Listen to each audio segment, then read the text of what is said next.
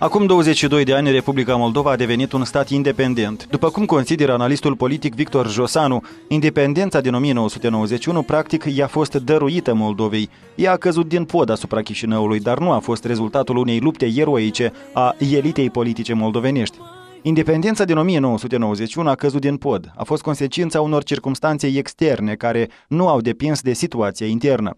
La Beloverskaya Pușa, moldovenii nu au fost invitați, dar și niciunul dintre ai noștri nu a fugit la Moscova ca să-l ajute pe Yeltsin să-l dea jos pe Gorbaciov de la Kremlin. Organizarea unor mitinguri în timp ce nimeni nu intenționează măcar să te atingă, asta oare este luptă?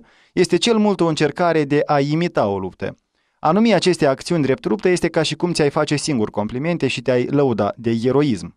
Timp de 22 de ani de plutire liberă, Republica Moldova, în opinia politologilor și experților, așa și nu a reușit să devină cu adevărat independentă în luarea deciziilor. Atât formarea forțată a coaliției pentru guvernarea pro-europeană, cât și formarea guvernului Leancă sunt exemple care demonstrează acest lucru. Partidele care formează noua coaliție au ajuns să se urască reciproc în ultimii patru ani de guvernare. Însă, sub presiunea funcționarilor europeni, au fost nevoite să creeze încă o coaliție de guvernare, pentru că așa îi este convenabil Bruxelului. În loc să ofere poporului Moldovei posibilitatea de a-și alege puterea, vorbesc despre posibilitate, nu despre dreptul de a alege, un drept care echipurile îl mai are acest popor. Cetățenilor le-a fost impusă o guvernare din politicieni care îndeplinesc garantat ceea ce este convenabil doar birocrației europene. Și dacă această implicare nu înseamnă practic lipsa independenței, atunci ce înseamnă acest lucru? Cu ocazia sărbătorii de pe 27 august, concetățenii noștri pot fi felicitați doar cu începutul unei noi colonizări, de data aceasta din partea Bruxelului, doar că nu prea îmi arde de glume. Dar pe de altă parte, nici să mor deja ale independenței pierdute, la fel nu prea am chef.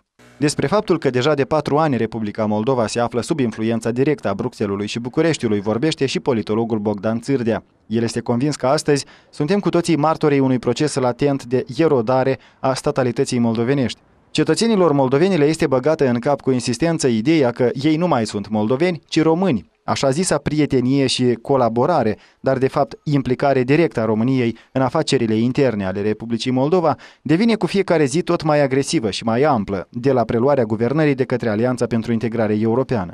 În iulie 2010, Moldova a cedat României accesul la baza de date cu informațiile personale ale cetățenilor Moldovei. Iar în octombrie 2010, cu ajutorul ministrului apărării Vitalie Marinuța, serviciile secrete ale României au obținut accesul la infrastructura secretă a Moldovei.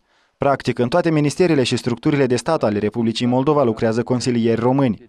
Conducerea țării cu regularitate merge la București, la consultații. Președintele României, Traian Băsescu, dictează direct Chișinăului cum trebuie să arate Constituția Republicii Moldova. Din acest document trebuie neapărat să dispară prevederea despre limba moldovenească, iar cetățenii Moldovei trebuie să se autodenumească români.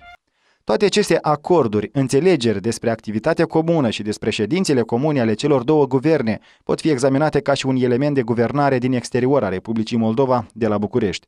A mai rămas să mai fie organizate ședințe comune de Parlament, să fie adoptată o Constituție comună, să fie create organe de stat comune și aici poate fi pus punctul independenței Republicii Moldova. La București permanent se vorbește despre cele două state românești. Iată, poftim și exemplele concrete ale faptului că noi suntem cel de-al doilea stat românesc despre care vorbesc ei. O parte dintr-o unitate politică românească mult mai masivă.